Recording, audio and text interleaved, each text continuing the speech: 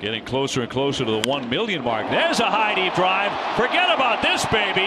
Oh, off that sign and gone. There's number 30. And the magical year of Mookie reaches the 30 home run, 95 RBI mark, and the Red Sox have a 1 0 lead. Well, Mookie now ties Ted Williams and Tony Conigliaro is the only Red Sox to hit 30 home runs in a season before turning 24 years of age.